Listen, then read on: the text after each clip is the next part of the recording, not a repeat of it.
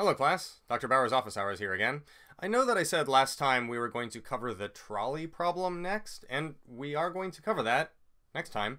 But first I wanted to cover some objections to Kant's ethics as we covered them in the previous lecture, the one where we presented a summarized, simplified version according to O'Neill that focused on the second formulation of the categorical imperative. So here's some objections to Kant. 1. What is immorality according to the second formulation of Kant's categorical imperative? 2. Which two ways can we object to the second formulation of Kant's categorical imperative, then? 3. List three sorts of cases which show that immorality does not require treating someone as a mere means. 4. List three sorts of cases which show that treating someone as a mere means does not require anything immoral. Alright, just four study guide questions this time, and as always, you may want to follow along with a pad of paper and a pencil, or a laptop, or something in order to take notes with, maybe a canvas and a paintbrush, I don't know. So, if you recall, Kant's ethics, as we covered it, focused on this idea that you should never, ever, ever take someone's ability to reason and choose for themselves and use that as a tool for your own personal goals or for your own ends. In other words, you should never, ever, ever treat humanity as a mere means. You should never use people like they're just tools, in other words. Kant thinks that to use people in this way is what immorality is that the essence of what it is to do wrong is to treat someone like a mere means, right? From this, we can extrapolate a couple of claims. First, that according to Kant, any example of treating someone as a mere means is immoral. Secondly, that any example of immorality has to be a case in which someone is treated as a mere means. Treating someone as a mere means requires immorality, and immorality requires treating someone as a mere means. They go together, it's an identity. So, if we want to object to Kant's ethics, or at least to his conception of what's immoral, we can find counterexamples. We can try to think of a case of something immoral, but it's not an example of treating anyone as a mere means, it's just immoral in some other way. That would show that Kant is wrong. Or we could think of some example of treating someone as a mere means that isn't immoral. That you could actually use someone in a way that isn't morally bad. That would also show that Kant was wrong. Two types of counterexamples. Two types of exceptions to Kant's claim about immorality. Let's start with the idea that you can have immorality without treating someone as a mere means. Here are three sorts of cases. First, consider the phenomenon of natural evils. These are things that just occur in the natural world without any deliberation or any intention behind them. They just happen and they're bad. And they're not just bad in some, aw shucks, disappointing way. They're bad in that what they accomplish is morally bad the loss of life and the perpetuation of suffering if you consider cancer, or if you consider an earthquake that kills millions of people. That would be devastating. And that would not be anyone's intention or action, or at least it wouldn't have to be, but it would be morally bad. That would be an example of something that's morally bad that did not involve anyone using someone else as a tool, using someone else as a mere means, right? The case of the devastating earthquake, or the devastating virus, or the devastating cancer, those are all examples of how something morally bad, something immoral can occur without anyone being treated as a mere means. It's just bad because of the suffering and death it causes, not because anyone was using anyone else. O'Neill points this out when she says that in order for immorality to occur, there has to be intention according to Kant. And if you focus on those cases where there seems to be immoral stuff but no intention, that looks like a way of objecting to Kant. So there's our first sort of case of immorality without treating anyone as a mere means is the case of natural evils. Here's another case of immorality without treating anyone as a mere means is suppose that you give someone a whole lot of dangerous responsibilities. Dangerous responsibilities. You give them responsibilities that make their life more dangerous. As an example, suppose I give you 15 machine guns just because I want you to have them. I trust you. I believe you are responsible. I'm not trying to use you. I'm not trying to manipulate you. There's nothing I want you to do with them. I just think you should have them. You're trustworthy. Have these 50 machine guns. Is that a bad thing to do to someone? To just give them a bunch of dangerous weapons because you trust them? I mean, it doesn't involve manipulating them, or at least it doesn't have to.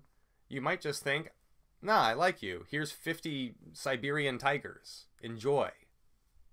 What's wrong with that, it seems, is that you raise the risk of harm.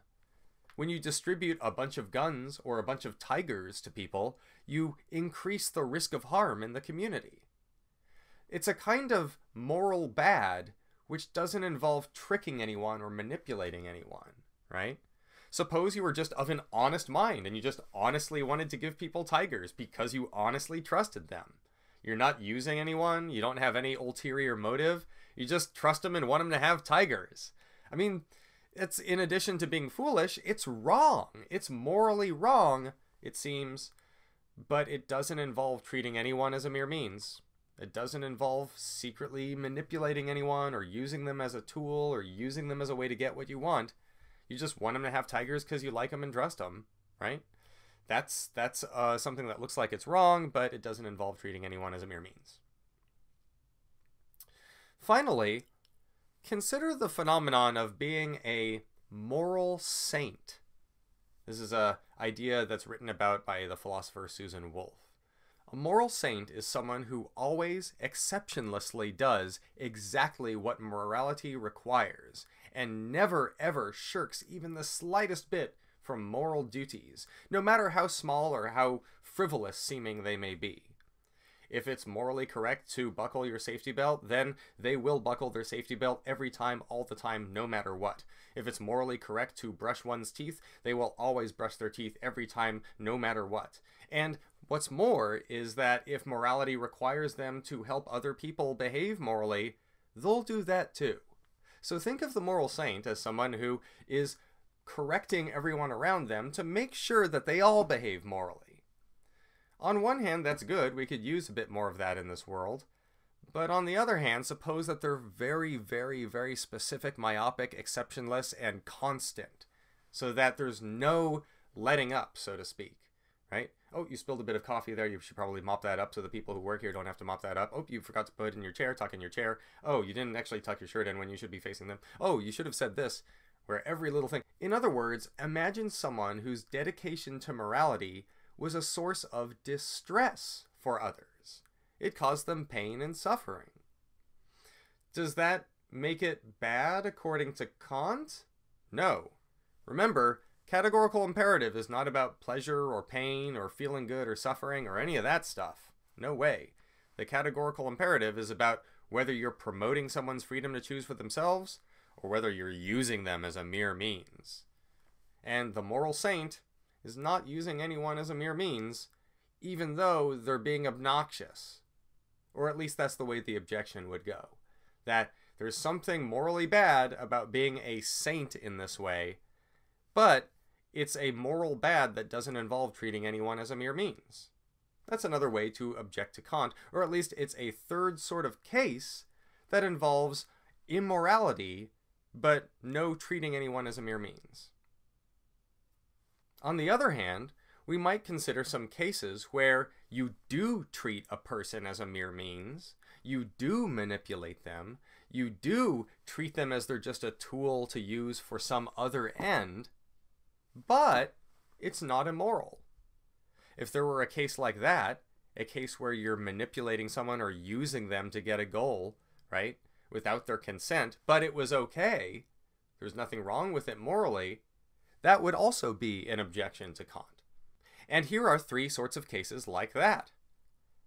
The simplest one, the easiest one, is a surprise party. Suppose you throw someone a surprise party. Quick question. Can you consent to a surprise party? No, you can't. If I ask you, hey, I'm going to throw you a surprise party on Wednesday, is that okay with you? Right? If, if I were to ask you that, then it wouldn't be a surprise. Even if I don't specify a date, if I just tell you I'm going to throw you a surprise party, there's a sense in which I have rendered it no longer a surprise. In order for it to really be a surprise party, it has to be done without their knowledge, which is to say, without their consent. A surprise party is a plan of action which, in principle, someone cannot consent to. It is textbook definition of something that should be immoral, according to Kant. But we know it's not immoral to throw someone a surprise party. So that seems like Kant gets it wrong. Here's a case where you are using someone as a mere means, but it's not immoral.